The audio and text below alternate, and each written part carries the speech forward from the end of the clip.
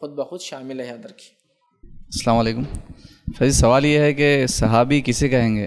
کچھ لوگ جو ہے یعنی جو علماء ہے تابعین کے علاوہ بھی ان کو بھی رضی اللہ تعالیٰ عنہ کا لقب دیتے تھے۔ کیا صحیح ہے؟ بھائی نے سوال کیا کہ صحابی کسے کہیں گے اور کچھ لوگ رضی اللہ تعالیٰ عنہ جو ہے غیر صحابہ کو بھی لگاتے ہیں۔ تو دیکھیے صحابی کا ڈیفینیشن تو بالکل واضح وہ شخص جس نے اسلام کی حالت میں نبی اکرم صلی اللہ علیہ وسلم کو دیکھا ہو یا کسی مجبوری کی وجہ سے رویت نہ حاصل ہوئی ہو، جیسا کہ نابینا صحابی، نابینا جو ہوتے تھے۔ جس شخص نے ایمان کی حالت میں نبی اکرم صلی اللہ علیہ وسلم کو دیکھا ہو اور اسی پر ان کا انتقال ہوا ہو، یہ ہو گئے صحابی، چاہے وہ ایک پل کے لیے دیکھا ہو، ایک منٹ کے لیے دیکھا ہو، پھر چاہے کوئی حدیث روایت کی ہو یا نہ ہو، یا پھر چاہے ساتھ رہے ہو نہ ہو، مجلسوں میں شامل ہوئے نہ ہو، غزبوں میں شامل نہ ہوئے ہو یا ہوئے ہو، اس سے کوئی فرق نہیں پڑتا۔ دیکھا ہے کافی ہے، یا پھر کسی مجبوری کی وجہ سے دیکھا نہیں ہے۔ جیسے کہ نابینا صحابہ ساتھ رہے، مجلسوں میں آئے، اٹھے بیٹھے، لیکن ناک نے نہیں دیکھا، یہ بھی صحابی میں شامل یاد رکھے تو یہ تو ہو گئے صحابہ۔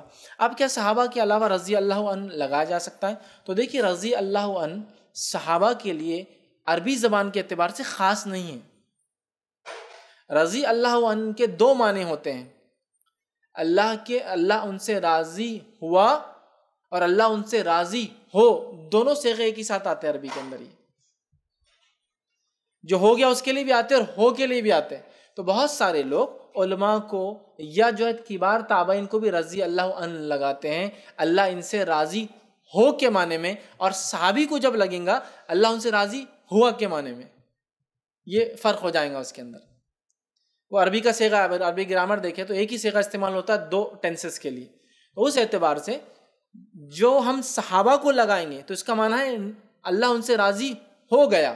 اور جب صحابہ کے علاوہ آپ کسی کے نام پہ دیکھیں گے، تو اس کا معنی ہے اللہ ان سے راضی ہو، بول کے دعا دی جا رہی۔ جیسا کہ بہت ساری جگہ آپ دیکھیں، امام ابو حنیفہ رضی اللہ عنہ۔ تو یہاں معنی ہو جائے گا اللہ ان سے راضی ہو۔ اور عبداللہ ابن عباس رضی اللہ عنہ، اللہ ان سے راضی ہوا۔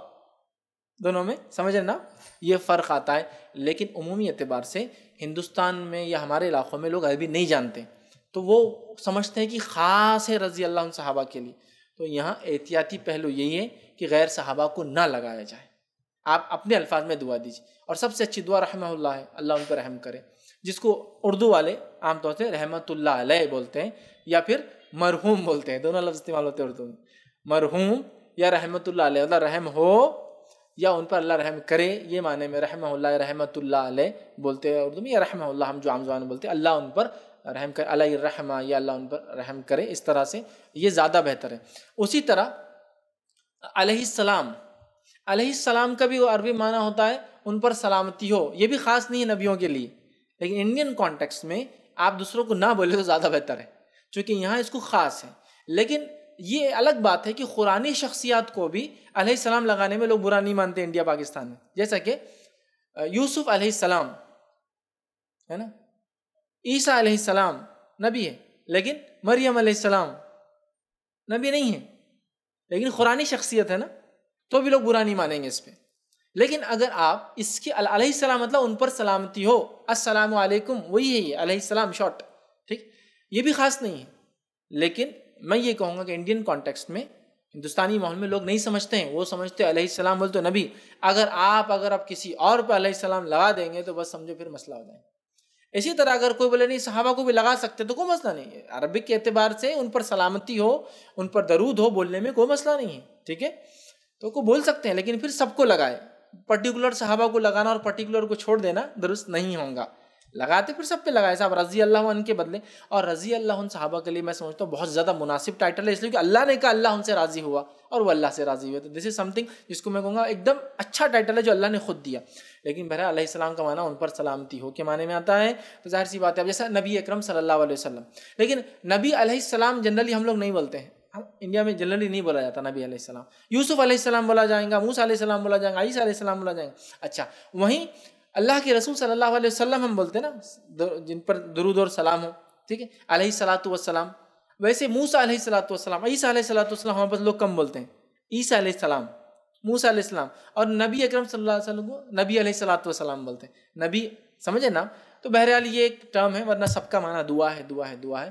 لیکن ہمارے پاس انڈیا میں مخصوص لوگوں کو مخصوص چیزیں لگائی جاتی ہے تو اس اعتبار سے، جیسا کہ ہمارے پاس لوگ سوال کرتے ہیں ایک آدمی تھے ان کو داڑھی نہیں تھی، ان کا انتقال ہوگا، تو کیا ان پر رحم کی دعا کر سکتے ہیں؟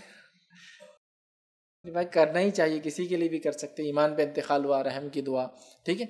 یا پھر ٹائٹلوں کو خاص کر دیا، جیسے علیہ السلام نبی اور قرآن شخصیت کے لیے، رضی اللہ عنہ صحابہ، لیکن عربی زبان کے اعتبار سے جہاں تک آپ دیکھا جائے، تو یہ بولا جا سکتا ہے۔ لیکن پھر کہوں گا، انڈیا میں چونکہ لوگ زبان نہیں جانتے ہیں، آپ احتیاط کریں تو زیادہ اچھا ہے، ورنہ لوگ آپ کو غلط معنی میں لیں گے، بولیں گے، دیکھو صحابہ کو نبی بنا دیا علیہ السلام بول رہا ہوں۔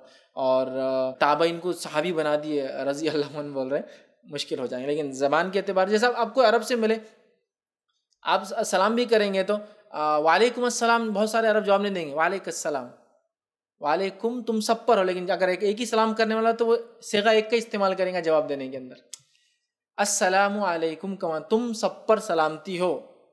تو وہ اگر دیکھیں گا سلام کرنے والا، اگر جواب دینے والا دیکھ رہا کہ سلام کرنے والا ایک ہی ہے، تو وہ وعلیکم السلام نہیں بولتا، وعلیکم السلام، تجھ پر بھی سلامتی ہو۔ لیکن وہ گرامر جانتا ہے، ہم انڈیا میں بولیں گے تو بولیں گے میرا سلام کا جواب غلط دے رہا، اب دیتا ہوں میں دیکھوں میں کیا غیر مسلم ہو گیا، یہود ہو گیا، نصارہ ہو گیا، تو ایسا جواب دے رہا۔ لیکن عربی کے اعتبار سے وہ سنگولر سیگے کے ساتھ واپس جواب دے رہا۔ وعلیکم السلام، تم سب پر سلامتی ہو وعلیکم السلام، تجھ پر سلامتی ہو سنگولر کا سیگا ہے۔ ٹھیک ہے؟ تو وعلیکم السلام کو بھی وہ کبھی کبھار سنگولر سے غیم بولیں گے آپ کو اگر آپ اکیلے تو۔ بہرحال، تو یہ لینگویج کا ایشو ہے۔ تو ظاہر سی بات ہے، ہم لوگ نہیں جانتے، تو جو جنرل ٹرمس میں چلتا ہے، وہی بولنا میں سمجھتا ہوں۔ زیادہ اچھا ہے۔ جیسا کہ السلام علیکم کے تعلق سے بہت سارے لوگ لکھتے ہیں، ایسا لکھے تو یہ معنی ہوتا ہے، ویسا لکھے تو یہ معنی ہوتا ہے، ویسا لکھے تو یہ معنی ہوتا ہے۔ جبکہ بہت ساری بار سے مطلب قرآن کے اندر جیسا کہ جنتیوں کے تعلق سے کہا، سلام علیکم۔ تم پر سلامتی ہو۔ تو تھوڑا اس کو سمجھنے کی ضرورت ہے، ہمارا لینگویج کا ایشو ہے، لیکن ہم لوگ بہت زیادہ اس کو ڈراسٹک لے کے جاتے ہیں کہ ایسا بولنے سے یہ ہوتا، وہ ہوتا۔